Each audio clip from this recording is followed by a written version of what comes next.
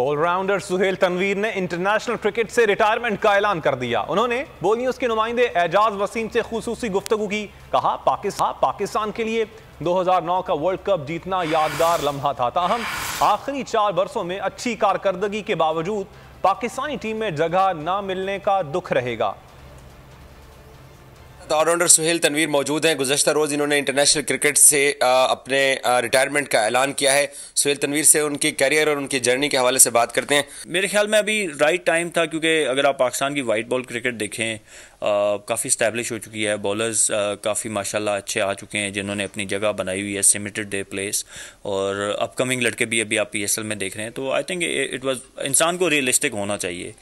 मेरा जब टाइम था आई ट्राइड माई बेस्ट मैंने 2017 18 19 जब मैं आखिरी बार 2017 में खेला उसके बाद मैंने डोमेस्टिक क्रिकेट में बहुत परफॉर्मेंसेज दी लीग क्रिकेट में बड़ी परफॉर्मेंसेज दी और मैं पीसीबी का शुक्रिया अदा करता हूँ कि मुझे आ, उन्होंने अपॉर्चुनिटी दी कि मैं अपने मुल्क की ग्रीन शर्ट जो है वो आ, दुनिया भर में पहन के खेला।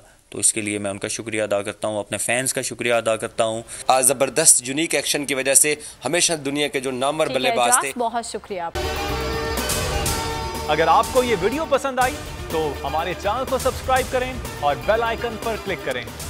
बोल के खिलाफ साजिश हुई। न गवाह मिला न सबूत। लेकिन केस में अब तक बरियत क्यों ना हुई? जब मुद्दई और तफ्तीशी खुद एतराफ कर चुका है कि कभी कोई जुर्म हुआ ही नहीं तो केस में बरियत क्यों नहीं हुई? बोल अपील करता है कि केस अवाम के सामने सुना जाए ताकि अवाम भी जान सके कि बोल के साथ क्या हो रहा है। ज़िंदगी एक मैदान है और पी एस एल एट में हर टीम को छूना आसमान है। छह टीमों के बीच धुआंधार लड़ाई। ये शोर न लड़ाई का है न डर का। ये शोर है जीत का। ये शोर है जुनून का। खेल का जुनून रोज़ाना रात 11 बजे सिर्फ़ बोल न्यूज़ पर।